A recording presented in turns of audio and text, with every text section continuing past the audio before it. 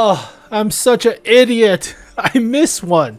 It was camouflaged with the T-54E1 right next to it. And it's a heavy. I totally forgot. I thought it was a medium.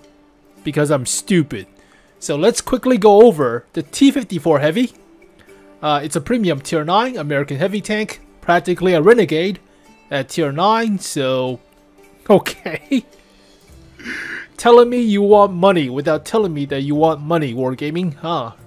Practically. 120 millimeter gun. It's a it's a prototype to the T54 presumably, so a little bit different of a turret design, but not that much. Not really. Versatile heavy tank. 240 millimeters of pin. More alpha than the tier A counterpart. A lot more. 450. DPM is not half bad, about 2150-ish. Accuracy also not half bad, 0.36. Quick aim time of 1.9. 12 degrees of gun depression. Uh, turret traverse, decent. Gun reload time, adequate for that alpha. I mean, it's pretty big of an alpha for 120, surprisingly. Alright. 1700 health. 254 at the hull front and turret front. Still has the M1 cupola on top, so obvious weak spot, but shoot anywhere else and you'll bounce on the turret.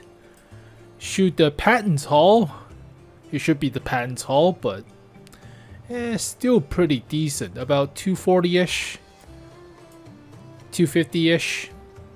I mean, if it's hull down, then 250-ish, 260-ish shoot the lower plate. That's about 100 millimeter. Side armor is 76, so standard 3 inches for American vehicles or some British also. And side of the turret is also 3 inches. Nothing to complain. It's a hull down vehicle, like with the Renegade, but roof armor is only 30, so gets splash from artillery shells.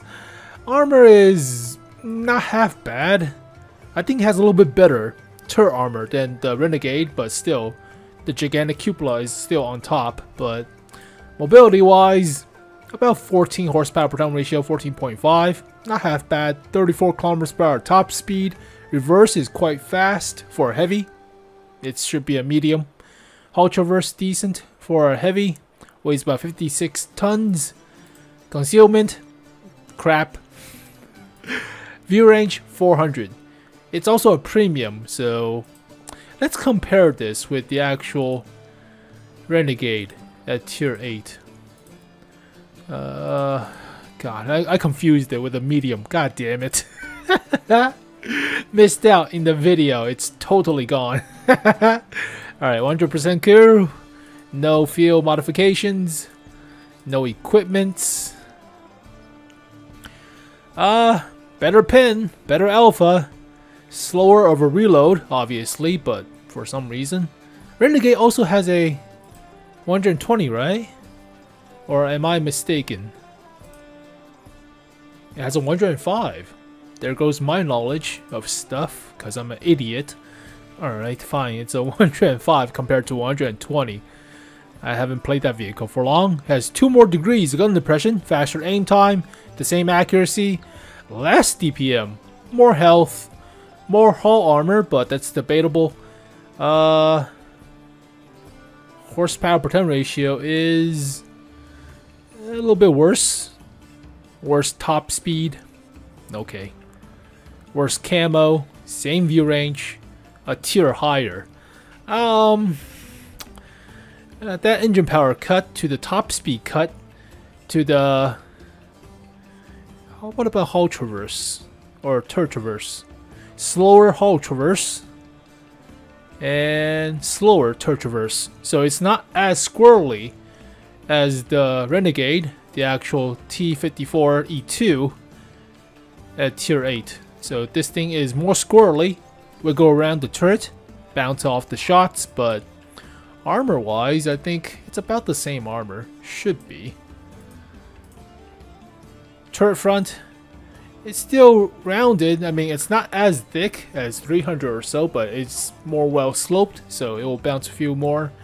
Uh, suppose high explosive anti-tank shells or other crap. it's about the same. A little bit, a little bit smaller of a turret, but the M1 cupola is still on top. That's the tumor. Hull is not as strong. All right, fine. It's about 190-ish compared to 250, so weaker hull front, but it's more mobile for the tier 8 compared to the tier 9. Well, we'll take a closer look once tanks.gg gets updated, but I am so salty. I forgot to uh, double check as a heavy tank. So this will be a adamantium, adamantment, uh, addition to the hidden vehicles video because I'm stupid. yeah, it's not as well slope of a turret front, but Uh, I mean hull armor is thicker, so that's a plus. And finally, here are some decals for the upcoming 40th anniversary event crossover with G.I. Joe. So we get two crew members if you're buying the skins from the shop, one for the STRV S1 and one for the Renegade. So one is obviously Cobra, I think the black hair chick, that's the Cobra chick. And the redhead is obviously the American one, or G.I. Joe one. Alright, fine. Some decals, kind of looks like the Renegade, a little bit, with the searchlight on the wrong side, but whatever. And kind of looks like the STRV S1, but doesn't have a gun. Has rockets, but rockets don't work on the actual STRV S1. G.I. Joe 40th anniversary, so neato. Uh, it would be more interesting if this was actually a part of the Battle Pass Season 9, like with the Warhammer crossover. Like entire three months will be dedicated, but eh, Cobra! and a star for G.I. Joe. Cobra, enemy. Is it for Joe or is it for Cobra? I mean, kind of juxtapositioning. Well, there you go, folks. That's all the decals. That's all the skins. God, I'm so salty about missing this thing. And I don't want to just add it to the previous video and re-render the rendering takes about 4 hours. The uploading takes about 3 hours or so. And the processing into HD from the 360 club takes about 3 hour plus. So that's a whole day gone. So that no, I'm not doing that. That takes way too long. It's still processing on the actual main video. So this will be adamantium, adamantium, or whatever. So here is the G.I. Joe Wolverine World of Tanks edition. And where is the T54? There it is. T54. M54. Well, T54 E2. But that's a Renegade. So those are the only two new skins. Or they covered the Swordfish for the Yo tank like two or three patches ago. Uh, that's practically it. Also the new skin for the 121B but that's for Clan Wars, so that's already uh, the question. Blah, blah, blah. Well, there you go, folks. I feel salty, so apologize, but I'm not going to re-render everything with this addition, so slap me in the face. God damn it. Well, thank you guys for watching, and I'll see you guys next time. Peace.